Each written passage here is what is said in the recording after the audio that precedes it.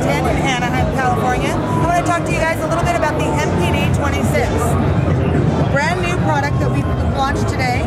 Uh, it is the, pre the predecessor to the MPD 24. We've actually updated the piece, given you note repeat. You have 16 velocity sensitive and pressure sensitive pads.